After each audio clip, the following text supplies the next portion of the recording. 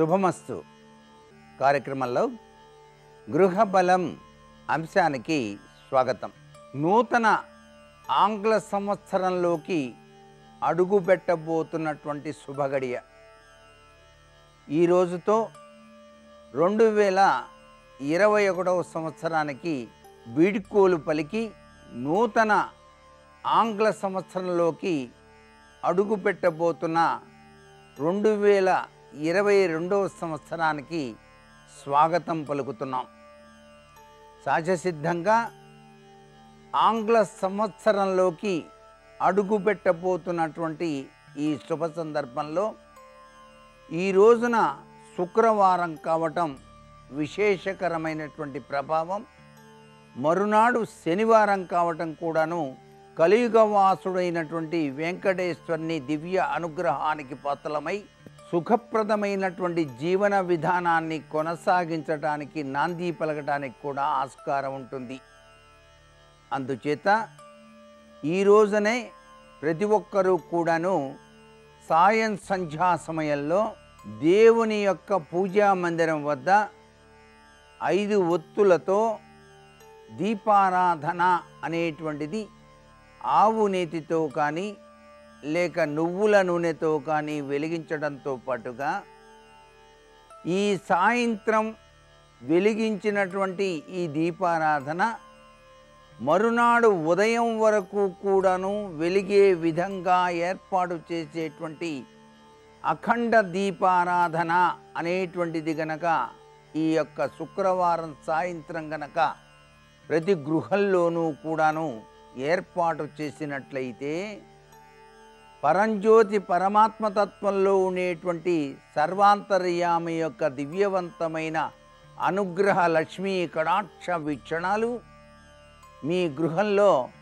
సర్వశోభితమైనటువంటి విధి విధానాన్ని ప్రసాదించటానికి అనుకూలంగా ఉంటుంది అనేటువంటి సూత్ర ప్రాతిపదికను ఈ యొక్క రెండు వేల ఇరవై ఒకటి సాయంత్రం నూతన సంవత్సరం మర్నాడు వచ్చేంత వరకు కూడాను ఈ అఖండ దీపము అనేటువంటిది వెలిగేటువంటి విధి విధానాన్ని పాటించటం సర్వ విధాల శ్రేయోదాయకవంతమైన ప్రభావాన్ని ఇస్తుంది.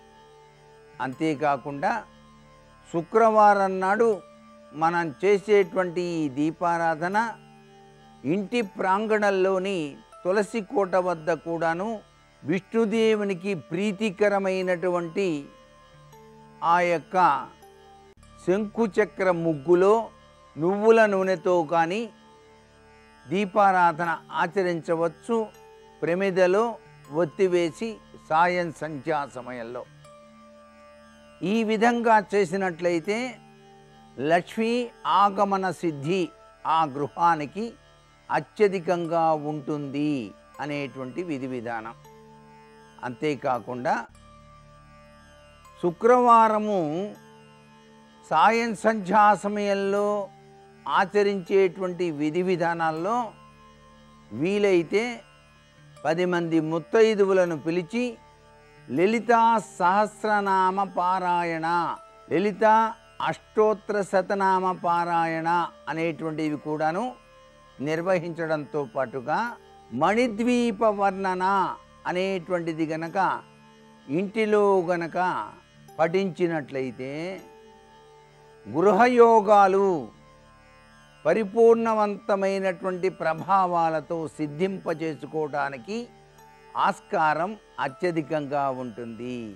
అంతేకాకుండా నూతన ఆంగ్ల సంవత్సరంలోకి అడుగుపెట్టబోయేటువంటి శుభ సందర్భంలో అందరం కలిసి ఉండాలి సుఖ సంతోషాలతో జీవితాన్ని గడపాలి అంటూ ఆ జగత్కల్పవల్లి అయినటువంటి జగన్మాతను మనస్ఫూర్తిగా ఇంటిల్లిపాది కూడాను ధ్యానం చేస్తూ పది మంది ముత్తైదువులను శుక్రవారం సాయం సంధ్యా సమయంలో మంగళకరమైనటువంటి ద్రవ్యాలతో సత్కరించి ఆశీస్సులు గనక పొందినట్లయితే శతవిధాలా కూడాను ఆ గృహం తేజోవంతంగా విరాజిలింపజేసుకోవటానికి ఆస్కారం అత్యధికంగా ఉంటుంది. అంతేకాకుండా శుక్రవారం నాడు అమ్మవారికి ప్రీతికరమైనటువంటి ఆవు పాలతో చేసినటువంటి అన్నపు పరమాణం. దానికి తోడుగా జగత్కల్పవల్లి అయినటువంటి దుర్గామాతకు ప్రీతికరమైనటువంటి పులిహోర.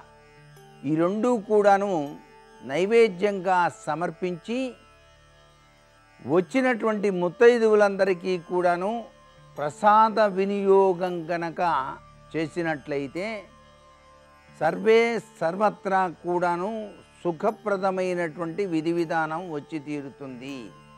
మార్గశిర మాసంలో ఈ విధమైనటువంటి విధి విధానాన్ని మనం పాటించడం అందున శుక్రవారం సాయం సంధ్యా సమయంలో ఈ యొక్క విధి విధానాన్ని ఆచరించటం సర్వే సర్వత్రా కూడాను శుభదాయకమే. రేపు నూతన ఆంగ్ల సంవత్సర ప్రారంభ సందర్భంగా పాటించవలసినటువంటి నియమాలు రేపటి గృహబల వంశంలో తెలుసుకుందామా మరి? సర్వే జనా సుఖినో భవంతు.